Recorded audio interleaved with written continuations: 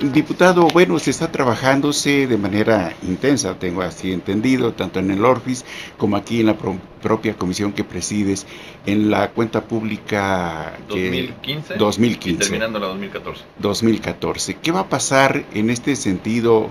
Eh, estamos a siete meses de que concluya la administración estatal prácticamente. ¿Qué va a suceder ahí en este caso con la siguiente? Bueno, lo que va a suceder es que se va a concluir seguramente en esta legislatura el proceso de la cuenta pública 2015. Se va a dictaminar y aprobar en esta legislatura. Y de ahí, bueno, pues seguirán teniendo responsabilidad quienes tienen hoy el manejo y el uso de los recursos públicos, porque todavía faltaría la cuenta 2016, que ya será la siguiente legislatura, la que analice, dictamine e instruya las auditorías. Ha habido una serie de ciertos señalamientos. Esto debe, sin duda alguna, llevar a los funcionarios actuales a tratar de entregar cuentas claras.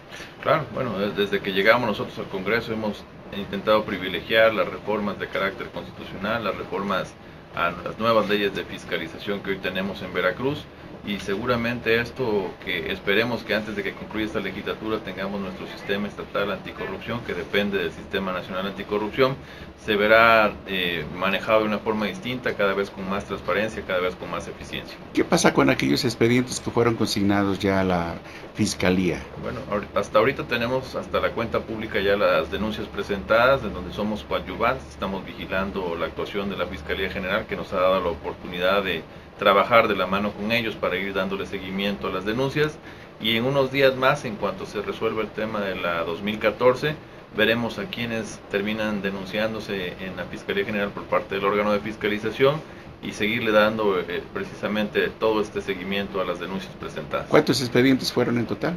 Bueno, en un inicio eran 45, se han ido resolviendo afortunadamente muchos de los casos en donde se han hecho las devoluciones de los recursos a las tesorerías.